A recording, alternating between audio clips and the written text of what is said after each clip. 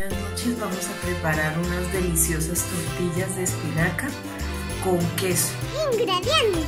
Media libra de queso, tres huevos, sal, harina de trigo, azúcar y espinacas previamente lavadas. Proceso. Picamos la espinaca iniciando por el tallo y luego por la hoja. Hervimos un poco de agua.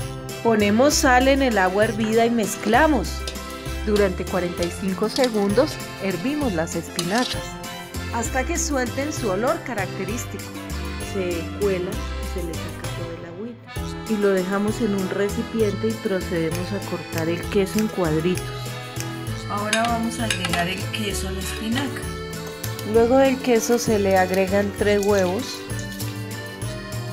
una cucharadita y media de azúcar, una cucharadita de sal dos cucharaditas de harina de trigo. Luego se revuelven los ingredientes y debe quedar espesito y consistente. La plancha caliente la vamos a poner a asar.